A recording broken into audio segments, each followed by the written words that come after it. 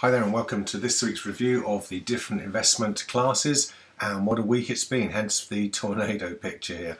Uh, it's been quite a wild ride. I'm Andy, the trend follower. I don't try and predict trends, I simply follow them. Uh, and I don't know which asset class is going to do best, so I follow all of them. Shares, property, gold, commodities and bonds.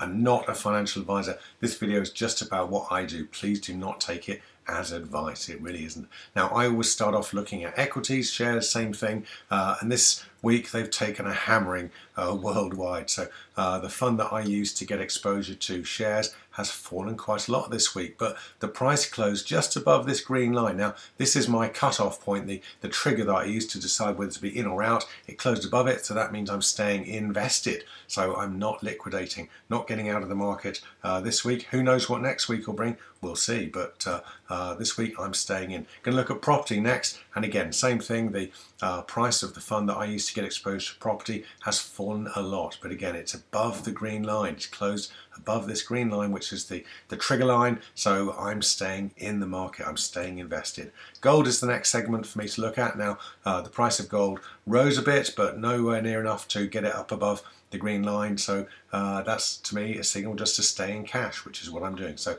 no signal for me here. Commodities is the, uh, the next sector. Now, a few weeks ago, I bought into commodities. Um, the fund that I use, the uh, closing price closed up above the, the green line here. You can see where I bought it. It went up nicely. I was feeling very smug and happy. But in this past two weeks, bang, down it's come and it's closed below uh, the green line. So this is a sell signal for me. So um, I'm going to need to exit uh, from commodities. Now with bonds, I don't actually trade in and out. I use three differently denominated bond funds and I just stay invested nice and easy. Okay, these are the traffic light signals for each asset class this week. Shares are on a green still, only just for me. Property still a green. Gold is still uh, a red signal, so I'm still in cash.